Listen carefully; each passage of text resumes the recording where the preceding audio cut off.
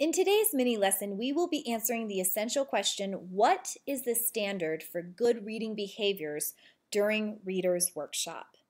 Think about the fire department, a sports team, or NASA and SpaceX preparing for a rocket launch. Do these groups have to work together to be successful? Why? Pause the video to discuss your responses. During Reader's Workshop, it is important that everyone works together in order to help everyone be successful in growing their reading skills and abilities. Work with a partner to brainstorm what someone would see in a class that is having a good reading workshop.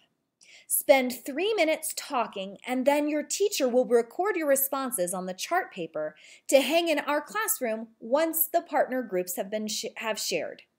Pause the video now to complete this activity. Some of the ones we came up with were keep my focus on my work, gather materials I need and find a place to sit, settle in and start reading silently, keep all reading materials together, talk quietly to a reading partner or in a book discussion group, and when reading independently, concentrate on my reading.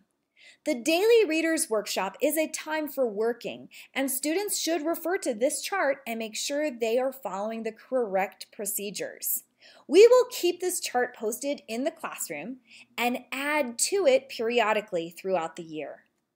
Let's re review SLANT before we begin our first book talk.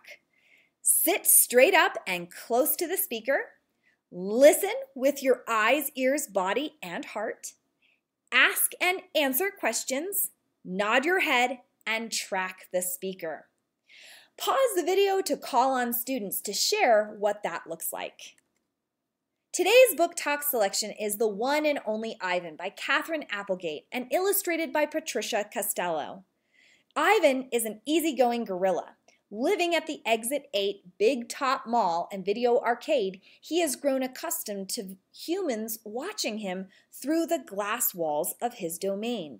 He rarely misses his life in the jungle. In fact, he hardly ever thinks about it at all.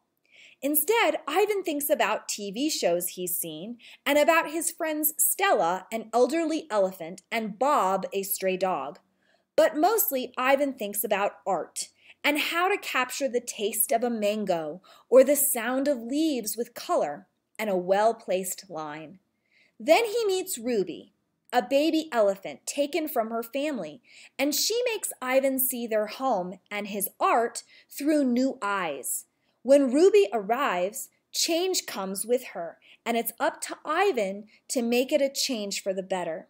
Katherine Applegate blends humor and poignancy to create Ivan's unforgettable first person narration in a story of friendship, art, and hope.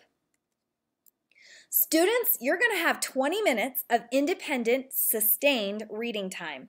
After that, you will practice with your book club discussion groups and answer the following questions together to share about what book you're reading and something interesting that happened in your book while you were reading today.